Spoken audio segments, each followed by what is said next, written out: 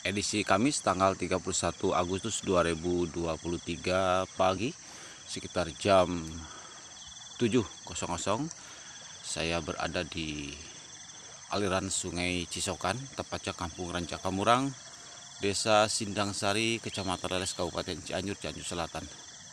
Beginilah teman-teman dampak belum turun hujan alias halodo kurang lebih dua bulan di Cianjur Selatan membuat warga masyarakat berbagai cara untuk mendapatkan air baik untuk mencuci, mandi bahkan sebagian memanfaatkan sungai Cisokan ini dengan cara ditarik menggunakan mesin untuk kebutuhan minum tetapi disaring lagi ya.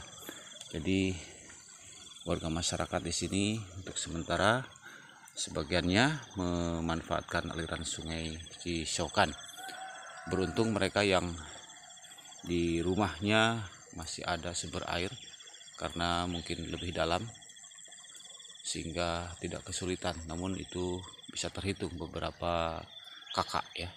Mudah-mudahan dalam waktu dekat ada turun hujan. Untuk itu pemirsa di beberapa wilayah Cianjur Selatan warga masyarakat muslim sudah melaksanakan sholat istisqo memohon kepada Allah Subhanahu wa taala menurunkan hujan yang berkah. Demikian pemirsa sallallahu alaihi wasallam.